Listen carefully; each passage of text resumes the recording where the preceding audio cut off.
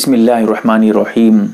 जिस कमरे में, जिस रूम में कुरान होता है, क्या उस रूम में हम बस्तरी करना, बीवी से मिलना, सोहबत करना, जिमा करना नाजायज़ है? जायज़ नहीं है। क्या मसला है? जैसा कि रूहुल मानी एक तफसीर की किताब है, उसमें इसका तस्करा मिलता है। ये मसला आपका उस किताब में मिलेगा। उसके अलावा भी दिगर किताबों में भी मिल जाता है। बहर कैफ ज़रा मसला समझ लीजिए। कुरान अगर खुला हुआ है कुरान आप खोल के रखे हैं। या कुरान खुला तो नहीं है, लेकिन कुरान के ऊपर कोई गिलाफ वगैरह नहीं है, कुछ कपड़ा वगैरह ढांपे नहीं है, कुरान ऐसे ही नज़र आ रहा है। तो ऐसी सूरत में जिस रूम में कुरान है, उस रूम में बीवी से हम बिस्तरी करना मकरू है, पसंदीदा काम नहीं है। एक तरीके से कुरान के अदब के खिलाफ है, इसीलिए मुनासिब नहीं है।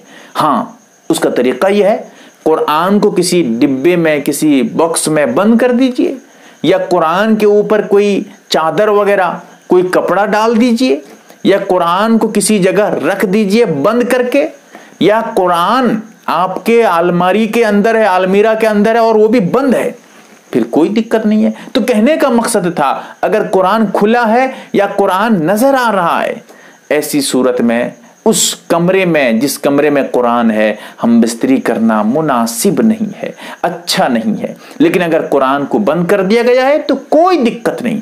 यह मसला बयान करने की इसलिए ज़रूरत हुई। लोग सिर्फ़ इतना जानते हैं कि कुरान जिस रूम में है, उस रूम में हम बिस्तरी मना है। अब उन्हें कौन बताए कि भाई कब मना है, कब मना नहीं है, ये भी समझ लो। वरना एक मसला जानकर बड़ी गलती में पड़ जाते हैं। हम बिस्तरी की ज़रूरत है तो कुरान एक रूम से दूसरे रूम में लेकर रख देते हैं। और सोचने की बात यह है कि मुसलमानों के हर रूम में, हर कमरे में कुरान होना चाहिए, ताकि कुरान की तिलावत हो सके, बरकत आप हासिल कर सके कुरान से। इसीलिए जब ढांप देंगे तो ने इसके लिए आसानी बयान की। कि ढांप दो कुरान को, ढांक दो किसी कपड़े वगैरह से छुपा दो, फिर उसके बाद कोई दिक्कत नहीं है, उसी रूप में जायज़ है। बहर कैफ, ये बहुत अहम बातें हैं, अल्लाह ताला समझने की तौफीक दे। आमीन या रब्बल आलमीन।